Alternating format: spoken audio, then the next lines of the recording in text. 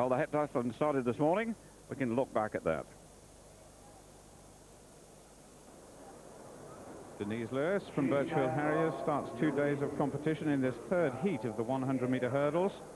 One false start against her name already. The full lineup, Kelly Blair from the United States. Denise Lewis goes in lane three. Peggy Beer of Germany. Lebedenko of Russia. Nathan of the United States. Wlodarczyk, bronze medalist from the European Championships last year, from Poland in seven. And Atrashenko of Belarus in lane eight. So a few nervous moments for Denise Lewis, the Commonwealth Games champion.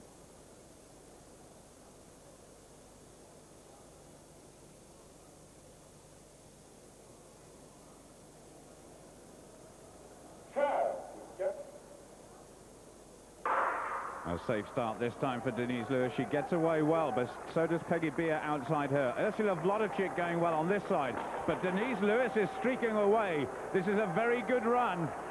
Come on, Denise Lewis, that is excellent. What a great start to the heptathlon. 13.53 seconds. Just six one-hundredths outside her lifetime best performance. And that is a very confident start indeed. Well, Denise Lewis had a false start next to her name.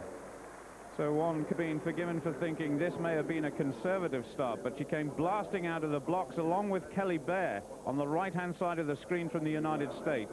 On this side, in the all-red, the very tall Ursula Wlodarczyk, bronze medalist last year in the European Championships, going well. But Denise Lewis now beginning to stretch away, and this was a good start to two days of very intense competition indeed. Denise Lewis wins, Wlodarczyk in second, Blair in third.